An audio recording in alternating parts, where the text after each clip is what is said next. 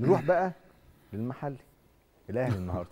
الاهلي النهارده عمل مباراة حلوة قدام أسوان مباراة محترمة تحديدا في الشوط الأول. بتتكلم كان في تعثرات في الفترة الأخيرة سواء تعثرات كأس العالم للأندية أو أو ماتش مباراة الهلال. الأمور النهارده وكأن الأهلي عاد ما قبل كأس العالم. باداء رائع جدا في مباراة اليوم. النادي الأهلي كان لازم يعني كان لازم المباراة دي كان لازم يكسب.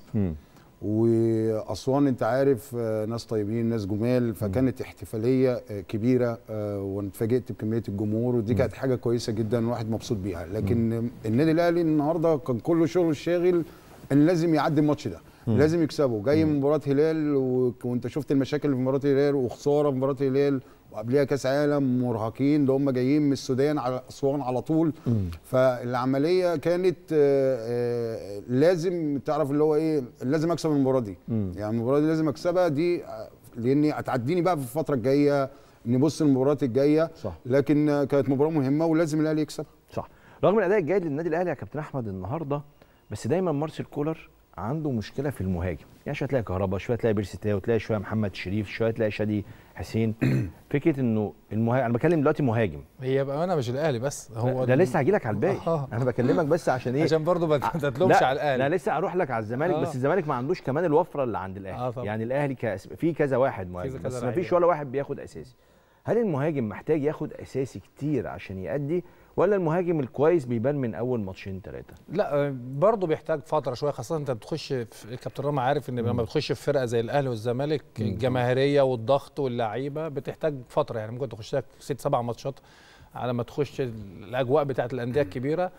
آه، بس برضه زي ما بقول لك يا كريم عارف الانطباع الأول زي ما بيقولوا بيدوم برضه عند الجمهور وع- لما بت... حتى لو لو أنت ما جبتش جون بس ادائك كويس والناس حاسة إنك آه، بتعمل أداء كويس في الملعب بتفرق معاك بعد كده تلاقي الناس بتساندك وكده فالدنيا بتبدأ تمشي. صح. بس هي زي ما قلت لك إن برضو إيه، حتة إن هو بيلعب النهارده بشريف شوية بيلعب بشادي شوية بيلعب بكهربا شوية هو مش مستقر. على حتة لعيب قدام في, في, حتة التسعه دي. آه. وبعتقد إن هم الثلاثه يعني مش فراودة. هم أعتقد الثلاثه حتى شادي حسين أنا كنت عارف إن هو حتى هو في سيراميكا تحت كان بيلعب. الدرجة الثانية كان بيلعب جناح. ولما صعد برضو فوق كان بيلعب جناح وكان بيلعب محمد إبراهيم وباسم مرسي. وشريف في أصله آه. جناح. جناح. أساسا آه، حتى في إنبي كان جناح برضو مم. فيمكن الأهلي ما عندوش حتة 9 9 اللي كان 9 9 حسام حسن ومش متعب. ف... آه. آه لا بتتكلم حسام حسن ومش راح. آه آه. بتتكلم على دلوقتي. آه آه، نفس الموضوع هتلاقي في الزمالك برضه. خد بالك الجزيري مش 9 9 الجزيري طول عمره يا كابتن كان عندكم في مقاولين كان بيلعب بره. half. مم. كان في مقاولين بيلعب half. وكان في آه طنطا كان بيلعب half ما كانش بيلعب 9 9 مم.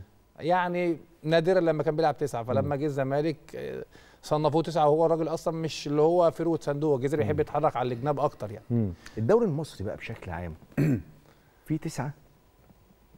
آه، بصراحة لا.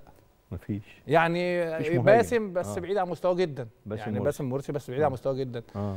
آه، خالد قمر برضو بعيد عن مستواه جدا. الناس اللي هي الفراوده اللي إحنا اللي لعبوا معايا وأنا أعرفهم كويس كلهم بعيد عن مستواهم جدا يعني. ده كان تسعة عند حد صغير لسه طالع وكده. آه، حتى مروان محسن لسه ها بدأ كان عنده إصابة وبدأ يرجع شوية. مروان حمدي رأيك في إيه؟ آه، برضو مش هو مروان حمدي اللي الناس عارفاه بتاع المقصة وبتاع سموحة مكسر الدنيا ومنتخب مصر مش هو برضو مروان بتاع سموحة. يعني معظم اللعيبة بعيد عن مستواه جدا. حتى ما فيش فرود آه، كيمو طالع صغير تقول عليه فرود بقى أمل ومستقبل اللي هو جاي يعني. آه. يعني ناصر منسي مش هيبقى مفيد للزمالك؟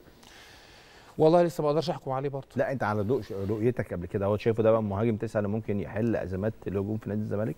ناصر كويس وخامة آه. آه. كويسة جدا بس برضه ما تقدرش تحكم عليه يا كابتن غير لما يخش نادي الزمالك آه. أجوجو جه يعني الله يرحمه أجوجو جه من منتخب غانا مكسر البطولة الأفريقية صح و يعني ما كملش في نادي الزمالك. فم- فمش شرط آه. ممكن يكسر الدنيا في حتة تانية ويجي الزمالك ما مش ما يبقاش. كويس زي زي لعيبة كتير عدت على الأهلي والزمالك لعيبة. كتير جدا يعني مم. طيب